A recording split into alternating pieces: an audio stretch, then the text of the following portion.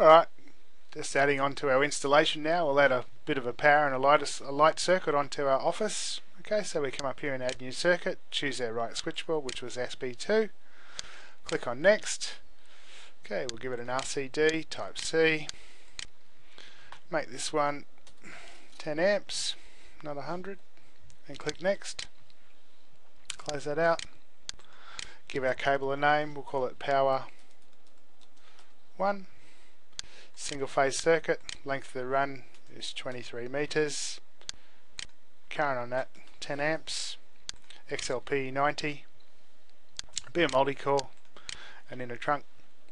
Okay, we go over there and calculate that, and click next. Close it out. Okay, we'll be going straight through here to our load, which is going to be power 1. Choose our load, and click next.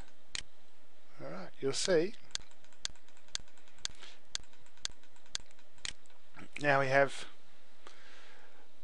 power 1 on the bottom of our SB2 okay so we can add another circuit to that now. Just choose our SB2 and click next. Okay we'll go through an RCD once again. Make that one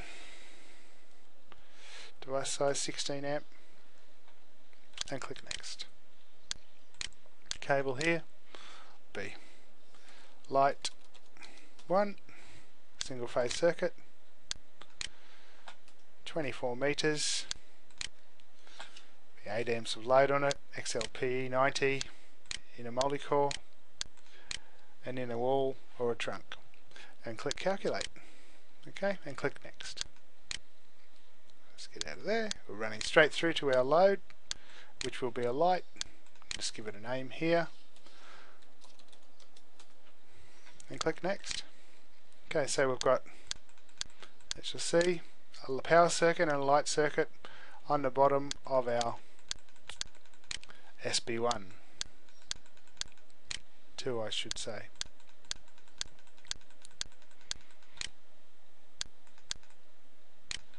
There she is.